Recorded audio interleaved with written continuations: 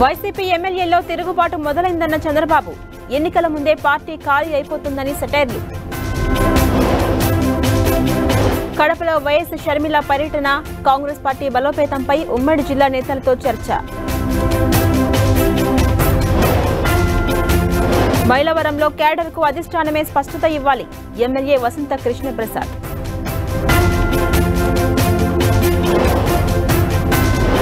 పై గౌరవంతోనే విచారణకు హాజరు. చట్టవిరుద్ధంగా అనర్హత వేటు వేశారన్న వైసీపీ రెబల్ ఎమ్మెల్యేలు.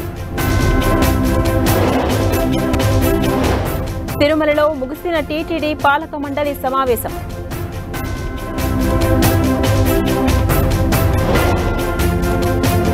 బీజేపీ కార్యకర్తలతో పురంధేశ్వరి సమావేశం. ఎన్నికల్లో అనుసరించే వ్యూహాలపై చర్చ.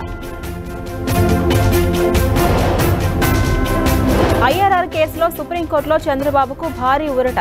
ముందస్తు బెయిల్ రద్దుపై ఏపీ ప్రభుత్వం పిటిషన్ కొట్టివేత. మచిలీపట్నం ఎంపీ అభ్యర్థిగా సింహాద్రి రమేష్ చివరి వరకు జగన్ బాటలోనే వెళ్తానన్న ఎమ్మెల్యే. గంటా శ్రీనివాస్ పిటిషన్పై ఏపీ హైకోర్టులో విచారణ రాజీనామా ఆమోదించడంపై సవాల్.